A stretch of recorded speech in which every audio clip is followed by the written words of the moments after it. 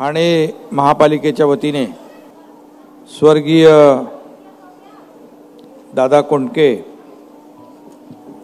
M P थिएटरचं लोकार्पण या ठिकाणी संपन्न झालेलं आहे.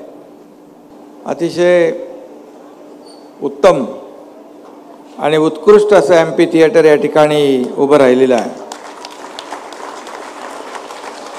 आणि ते नरेश मस्के महापौर यांच्या संकल्पनेतून उभं राहिलेलं आहे.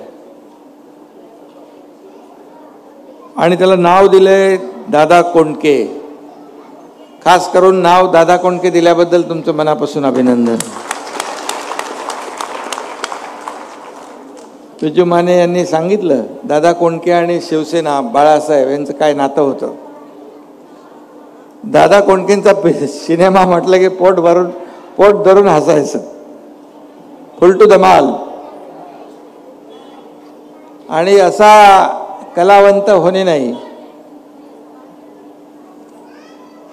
आणि त्यावेळेस प्रचार सभा विजू माने यांनी सांगितलं प्रचारसभेमध्ये दादा कोंडके निवडणुकांमध्ये शिवसेनेचा प्रचार करणं आणि हे सगळं जे काही समीकरण होतं ते एक वेगळं रसायन होतं.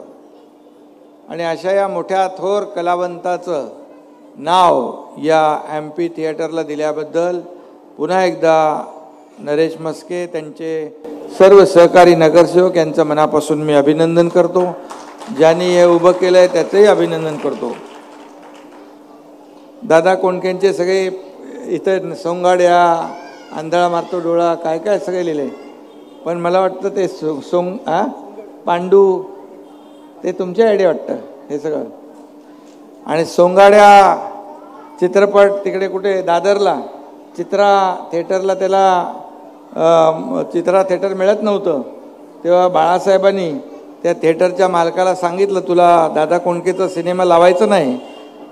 तुला महाराष्ट्रात राहायचं आहे की नाही?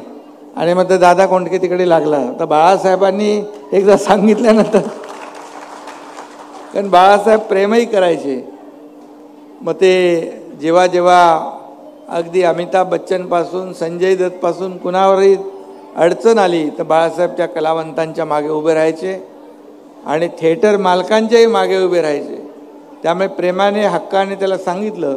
आणि दादा कोंडकेंचा सिनेमा सगळीकडे काय सिल्वर जुबली आणि गिनीज बुकमध्ये वर्ल्ड रेकॉर्ड झालं असा एक मराठी कलावंत दादा कोंडके त्याच्या आठवणी कोणी विसरूच शकत नाही.